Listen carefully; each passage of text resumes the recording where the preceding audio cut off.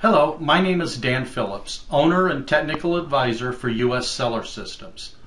Today we are going to be showing you how to connect our wiring harness to your evaporator coil for the electrical.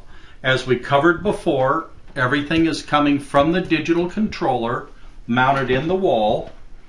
You now have three wires that are being brought up to the evaporator coil. You've got a black wire, a white wire, and a red wire.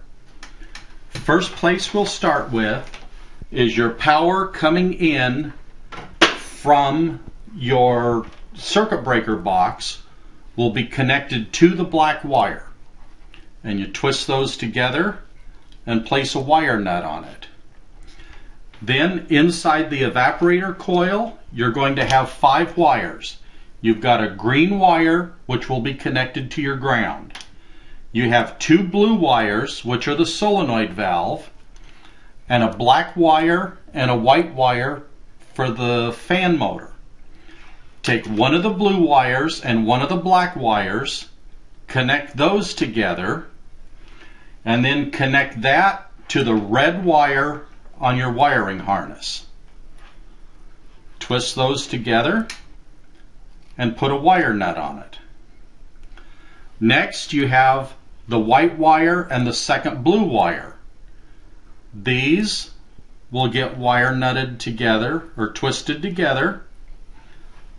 Add to that the white wire from your wiring harness. And then to that, you will connect your neutral coming in from your power source.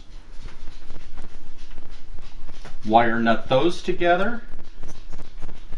Now you are ready to power up the digital controller and the fan motor, keeping in mind when you do so, there is a 10 minute time delay on the fan on the digital controller before it starts operating anything.